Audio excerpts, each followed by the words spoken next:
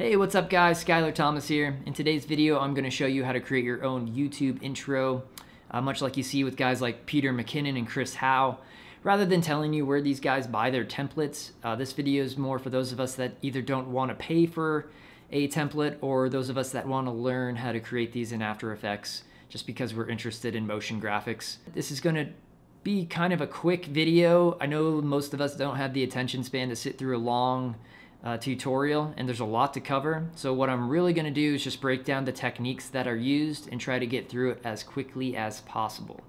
So with that being said, let's break down how I made the uh, intro that you saw at the beginning of this video. Step one, pick your music. Uh, artlist.io is the site that I use. It is fantastic for everything from professional client work to film scores to YouTube soundtracks. Um, definitely recommend it. I'll put a referral code in the description. If you sign up using the referral code, we'll both get two free months on our subscription. Win-win. So pick out your music and try to limit the area that you're using your music to about 10 seconds. You don't want an intro that's any longer than 10 seconds, especially when you figure out what it takes to really build out these intros. We're doing them on a frame by frame basis for the most part. So try to keep it to 10 seconds at the longest Find some good music that really represents you, what you really like, and the vibe that you want to put out there. And then we'll move on to next step.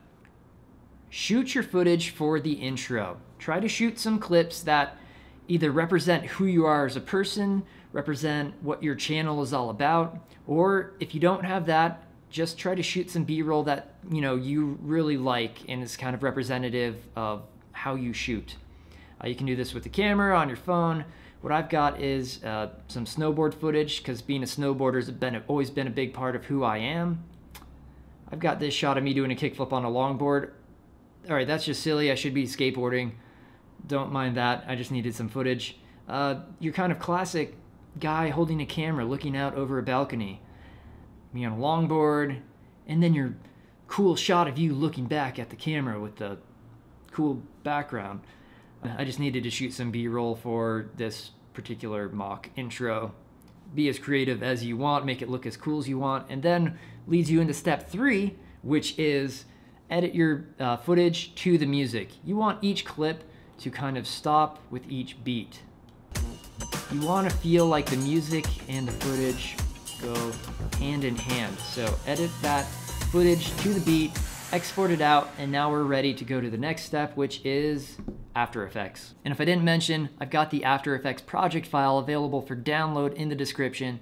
Go ahead and download that. You can take a look through the actual project files and kind of check out how I break everything down on a frame by frame basis.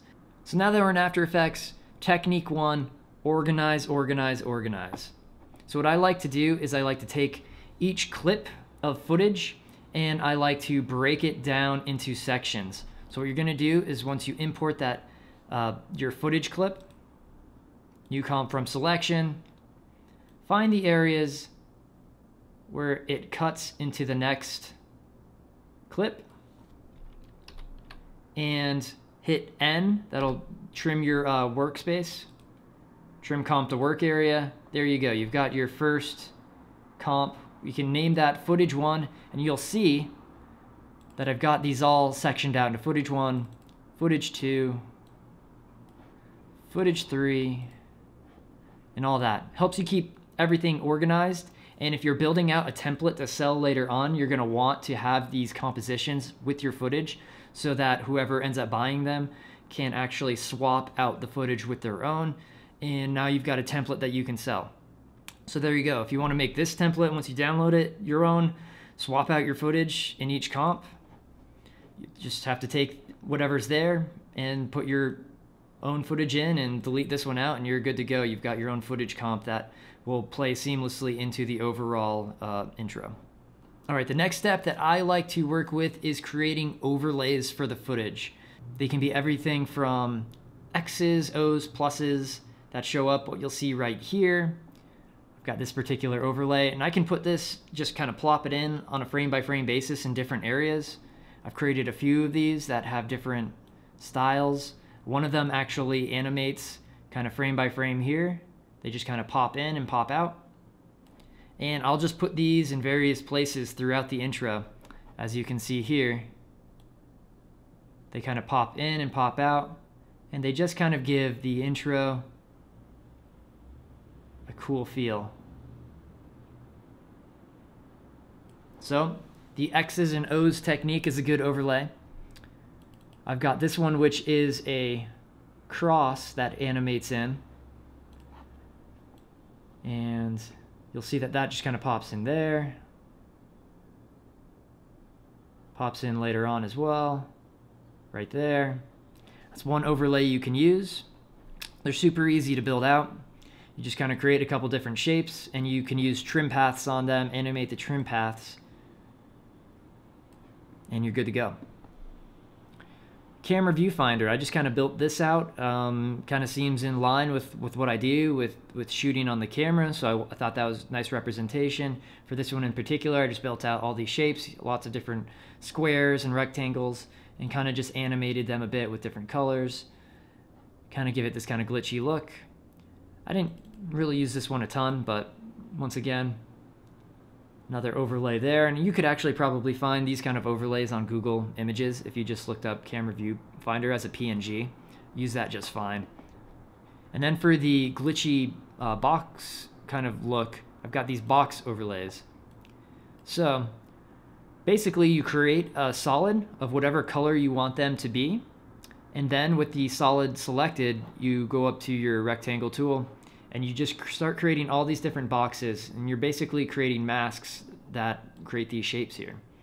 So this one really just holds for one frame and then I created another solid, created new shapes and then on this final one I did a white solid, created these shapes and then I animated one of the, uh, the mask paths to, to move around. And that's all you got to do there. And what that will look like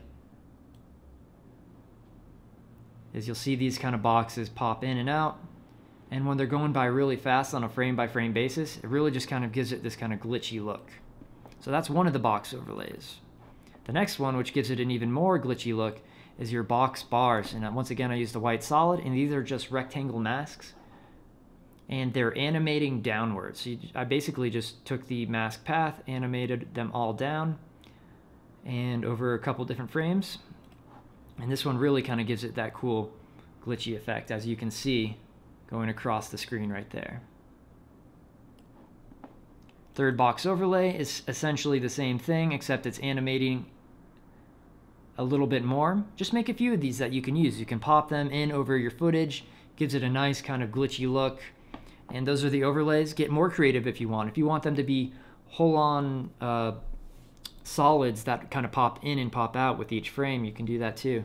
And then when, when you start putting them into your actual composition, you can kind of get creative with how you do them. You can turn the opacity down on them. You can use different blend modes to kind of give them different looks over your footage. Play around with that. Um, it's really up to you to kind of create your own unique style with your intro.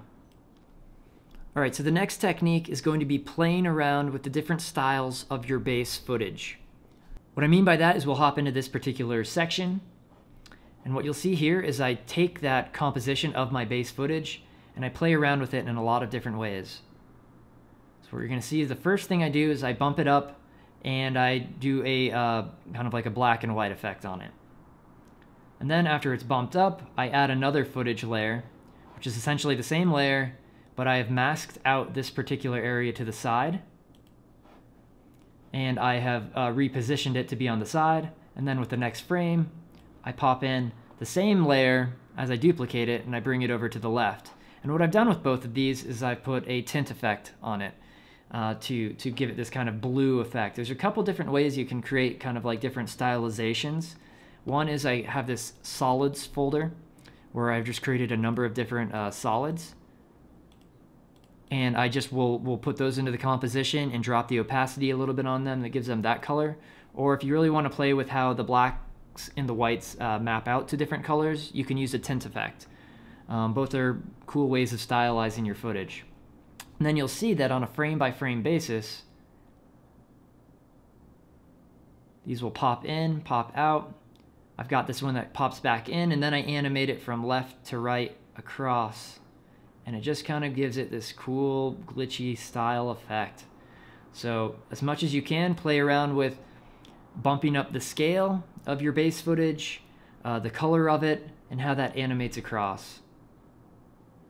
Another cool thing you can do in the same style is if we were to go to like section 4, I've bumped this one up, put a blue solid over it, and I've put a Gaussian blur over the base footage.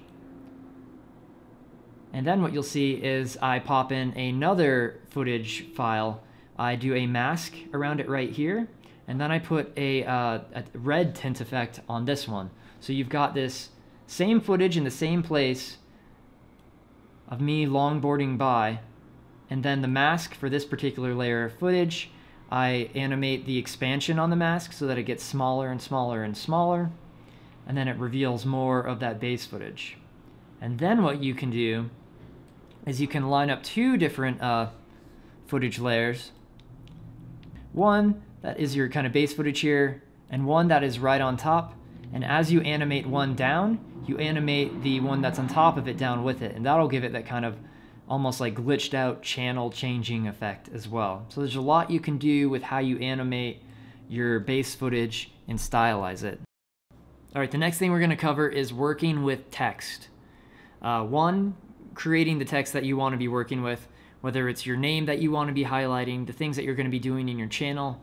In my case, I kind of allude to video editing effects, things like that that are popping up, tutorials. It's kind of what my channel is all about.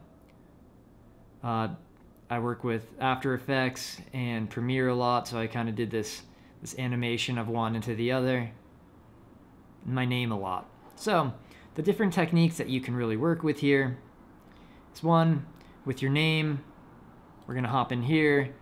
And what I created was what I called a composition called scatter text. And I really just kind of frame by frame of different letters until it finally hits my, my actual name here. And then what I did was I scaled that up. I animated it to be moving across the screen and I used a soft light uh, effect to kind of give it this this kind of look across the screen. Um, that was in for the for the uh, blend mode that I used. Next, we can kind of just pop in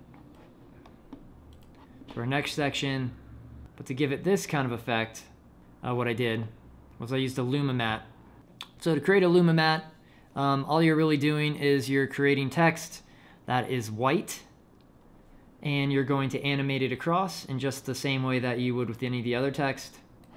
And then what you're going to do is uh, duplicate your base footage, put it right underneath this white text, and then set that layer to a Luma matte, which will basically show anything that is pure white, and that's what it will show on the base clip. Once you do that, it'll actually hide that particular layer. And from here, you highlight that, that footage and you can put effects on it to stylize it. In this case, I just kind of upped the brightness and the contrast and it gave it this look right here. All right, for this kind of text look right here, all you're gonna do is to create a white bar that goes across your footage.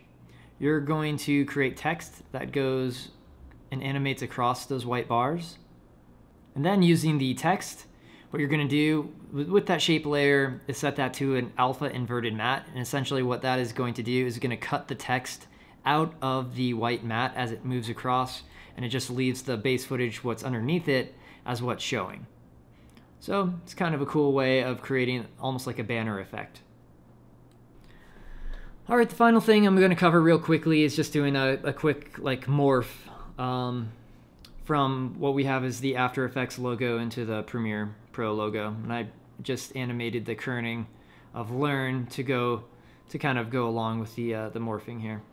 Um, I'm actually going to probably do this in a different video. I'll do a real quick video on how to animate the path of one shape into another. Uh, it's, it's a pretty easy process and it's all over YouTube as well if you want to Google it there, but it might be my next video. Yeah, that's really it. You go frame by frame. It takes a while you know, but eventually you've got this really cool intro that you can work with. And I know I covered everything super quickly because most people don't want to watch a long video. So if I'm wrong about that and you actually would watch a whole tutorial of me really breaking down each technique you let me know in the comments and I'll do that. But for the most part, I think people just want to see the gist of how things are made so that they can go about creating it on their own, which is what it's all about. And you learn more that way anyway. So, cool. All right, subscribe if you like the video, hit like, and I'll be making a lot more content. So, I'll see you in the next video. Peace.